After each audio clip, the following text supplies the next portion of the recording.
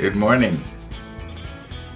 Yeah, and it's not bright and sunny like it was yesterday morning. And in fact, the uh, sunrise that we had yesterday that looked like this, well, that same shot looked like this this morning. Yeah, that's the way she goes. Can't win them all. But you know what? It's still plus 4.1 outside. That means that the snow is slowly melting, not, not as fast as it was yesterday afternoon, but it, it won't be long and I'll be able to get my, it looks like I can almost get my driver's side door open on my car. Uh, now the other side of the car, there's actually a pretty good sized drift. So I gotta wait a while. and, and right now, the uh, even though I can probably get my snowblower out, yeah, the snowblower doesn't work good in really hard snow. So it's it likes the light, fluffy stuff that you know that if you get it as soon as it falls, you're okay.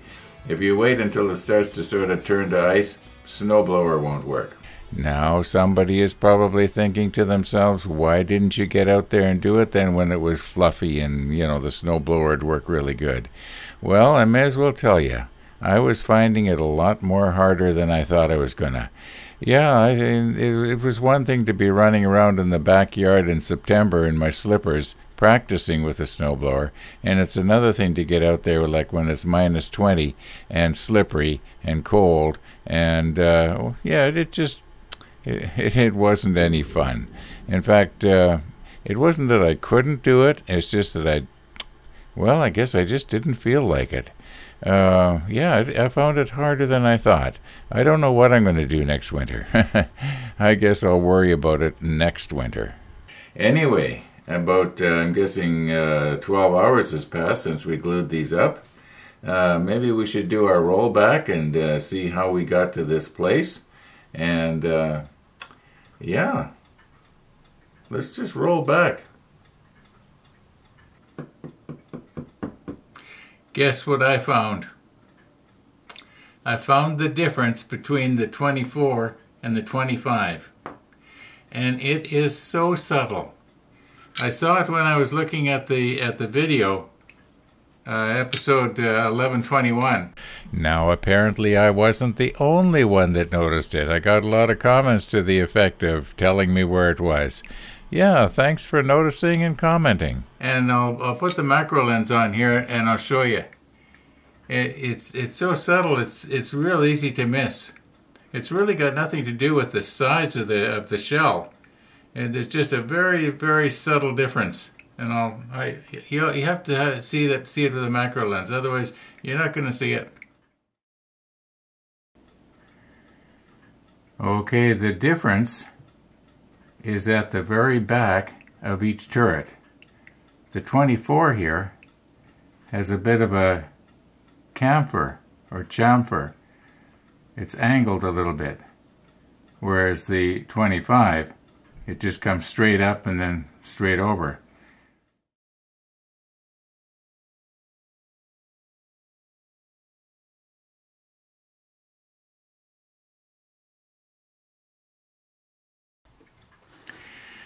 Okay, I've got everything uh, cleaned up here pretty good now. And uh, I think what I'll do is I'll put the two 24s together first and then right on the bottom of the uh, base 24. Yet on the other hand, why, why bother? Because I, I know now what to look for. You know, the, the 24s are the ones that are, are chamfered a little bit on the back. Um, anyway, uh, you'll notice that the, the bracket here, when these clamshell together, should mate up with, with this bracket here and hold this thing in place. Now, this is the first time I'm actually trying it. Uh, I think what I'm going to do is I'm going to do a dry fit of everything and just see how floppy the barrels are. Now, what I want to do is when when I nip the sprue off the barrels, the uh, the uh, right there you, you can you can see the little uh, where the where the sprue was removed there, little white spot. So I'm going to want to make sure that I try and have that down. Um, I, maybe I should be trying to use my fingers here. The reason I use my my tweezers so much re recently is because the uh, my fingers don't work so good. Okay, so so there's the little mark on that one, and here's the little mark on this one. So where are we here? I want to have this down and this down. Okay, and also the now mind you, uh, this doesn't want to go in. Now what? That's odd. This this hole isn't isn't uh, opened up enough.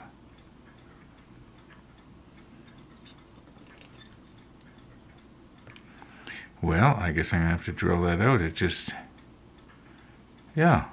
Wonder what if I put try to put it in the other way. Well, we'll think of something here. Let's let's just try another one. Maybe this is the only one because I'm doing it on camera.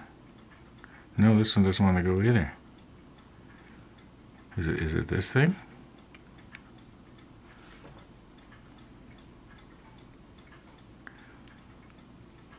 No, some of them need to be drilled out. Well, I guess I'm going to have to go ahead and do that. Get it done. Okay, we're back to where we were probably close to an hour ago now. Um, anyway, all right, so this is the all right, this is the side here that you can just barely see the flashing, so we want that to be on the bottom. So that means that this one here is going to have to go into this one here. Now remember, we're just we're just doing a dry fit here.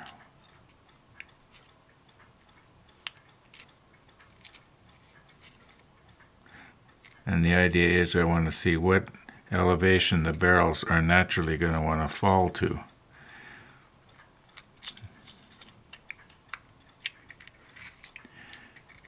Okay, so they're to...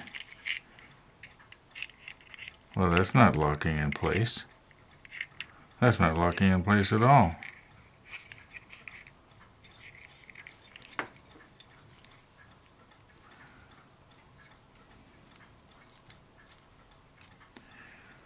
Oh, sorry, I, I, moved it out of your out of your vision there.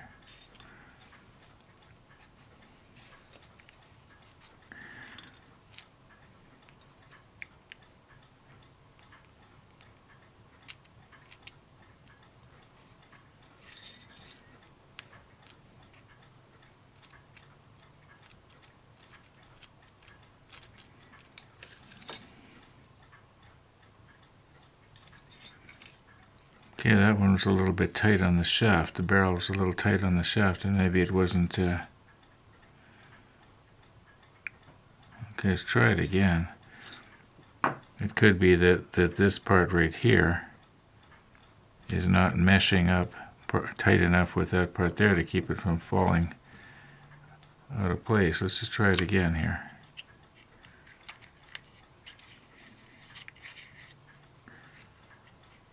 It's better now. I must have done something wrong the first time.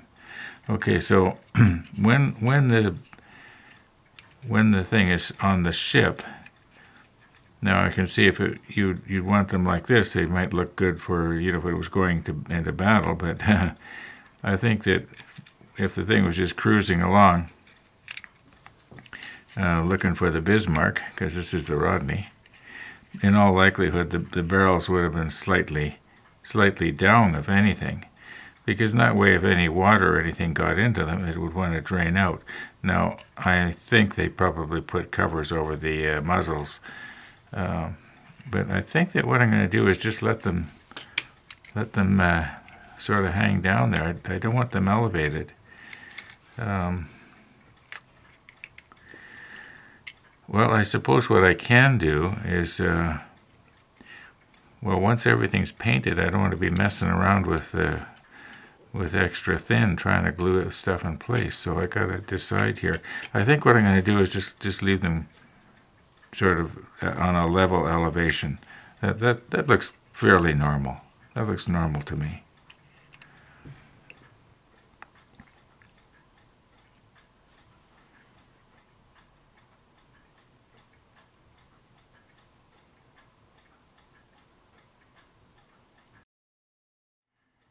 You know what? I sure hope that I didn't shoot this whole last scene out of focus. I got a terrible feeling that it, that I did. Well,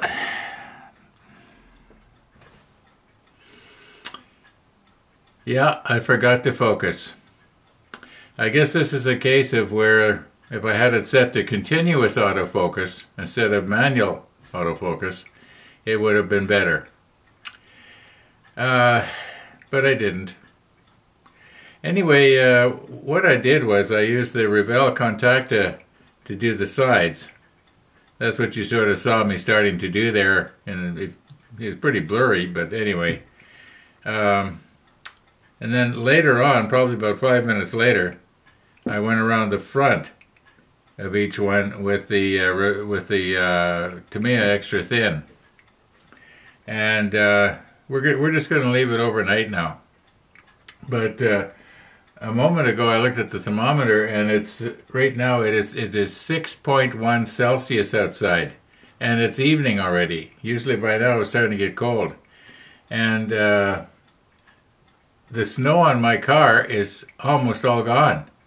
Yeah, that big drift that was on the roof that that left about uh, oh three o'clock this afternoon. It sort of slowly slid off like a like a glacier. and uh, there's uh, looks like there's maybe just a a little bit of snow on the hood where it all sort of slid forward. Uh, now we say hood in in Canada. Uh, Jason and some of you others, you you'll say the bonnet. Anyway, same thing, same part of the car. Uh, yeah, uh, it's sure good to see that snow going, I'll tell you. If we get a few more days like this, yeah, we'll actually be able to see maybe where the uh, carrot pad is in the backyard. But anyway, enough uh, trivia here. Uh, I'm just going to leave this now overnight. This Revell Contacta does not dry real quick. It's not like the extra thin. Um, and we'll put the uh, the life rafts on. Now I I don't know the life rafts. Did we did we paint them first last time? I think we painted them first, didn't we? Yeah, when we did the when we did the hood, I think we painted the life rafts first, and then we stuck them on painted. So uh, you know we're at the place now where when we uh, when we get to the end of step six, uh, I think I better start thinking about painting. What a depressing thought. Anyway, we'll see you in the morning.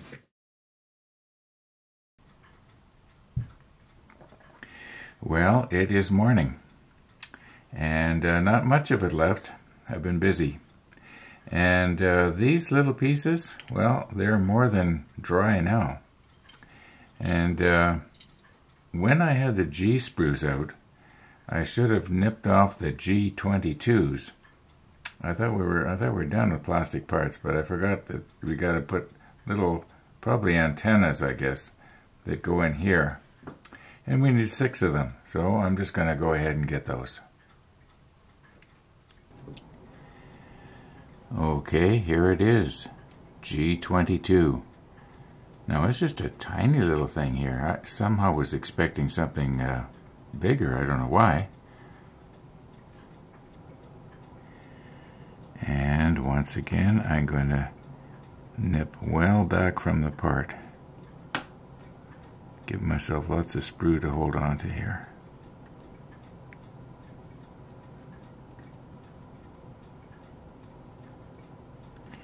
You know, it almost looks like there is a, yeah, there's a bit of a shape to it. I guess I guess this end that I'm touching right now plugs into the turret. And this other end, I have to check the manual closely and see which way this is supposed to be facing, if you know what I mean. Now, I think it was this one right here. When I was nipping it off, I actually got a little bit too close to the to the side of the post and I think you can probably see I've sort of shaved off the side um, but I think there's enough left you know that, that it's going to be uh, strong enough that un unless I was to really, uh, you know, bang hard on it with something, which is almost anything, we we did something like this with the uh, on the hood, and if you remember, we ended up making wire antennas, except that because this has this little detail thing on the top, I believe this might be a periscope, and not a, not an antenna. And uh, the, this this little pr protrusion coming out of the side of the top is actually uh, probably part of the optical just for fun, let's see if we can find a picture.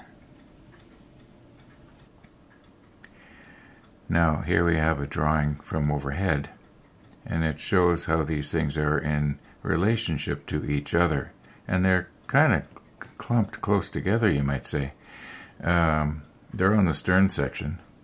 Um, okay, here is these things that we just nipped off. and uh, there are better drawings that, kind of show it. Um, at least it's it's uh, the the artist's impression of what he thinks they were looked like. Uh, I would, like I've said before, I prefer actual photographs. But uh, uh, anyway, let's let's uh, you know what I'll I'll I'll put this picture up on the on the on the screen the way I've got it to the computer. It might be a little bit clearer. Uh, but we'll, we'll page back. There, there are others. Okay, I've got uh, four or five other drawings here in this book that, that show this gun with the periscope. Now, none of them are what you would call really, really clear. They're not. It's, it's not about the periscope. It's about the gun as a whole. Um, yeah, you can sort of see the that it, that it is a periscope. It, it's not an antenna, and and this one here, you can see there's a the hose reel that we're working on. That's that's kind of interesting. Um, okay, you know what? I'm going to find these in the computer, and I'll just quickly put them up so that you can see them a little clearer.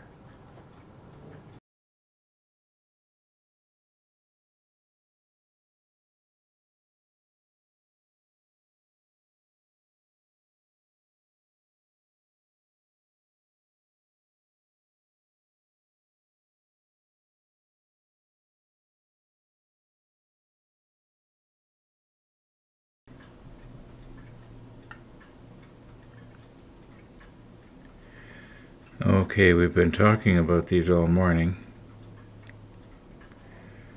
And uh, maybe it's time to try and fit one in place here. You know what? I'm going to have to fasten this down. Yeah, I'm going to have to blue tack it onto something.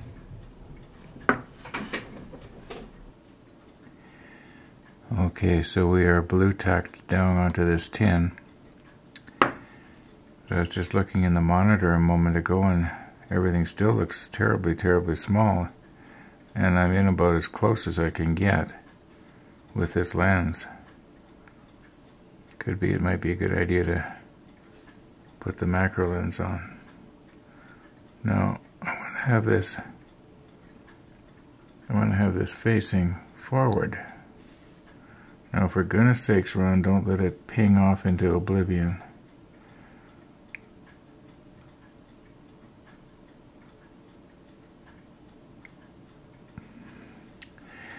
That's not too bad for a first try.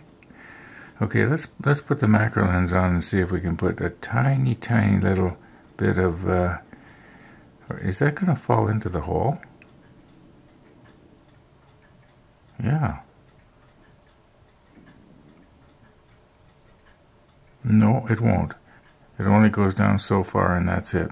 I guess the hole does not go all the way through. Okay, that's a bonus. Okay, let's get our macro lens on and try this again. Okay, I'm going to use a different pair of tweezers here. And I'm going to have to take it off camera while I realign everything.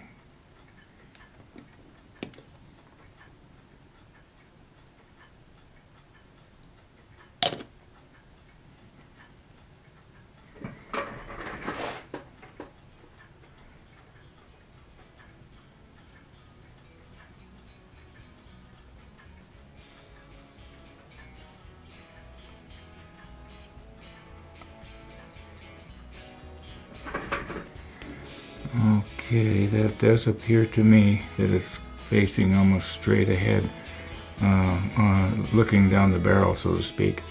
The only thing is, it's a it's a periscope, so in all likelihood, it, the direction it would would have been in would have probably been the, you know, the the last play, the last way that somebody used it.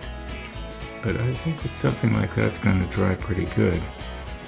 Um, yeah, I'm going to go ahead now and do the remaining five, just like that. We've done this one on camera, and yeah.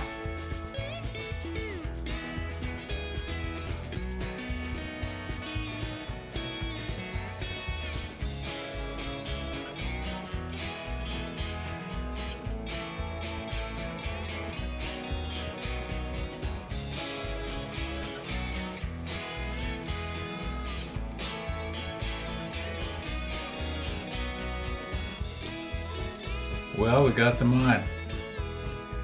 But I'm going to be shutting this video off. So thanks for watching, everybody. And all being well, we'll be seeing you tomorrow.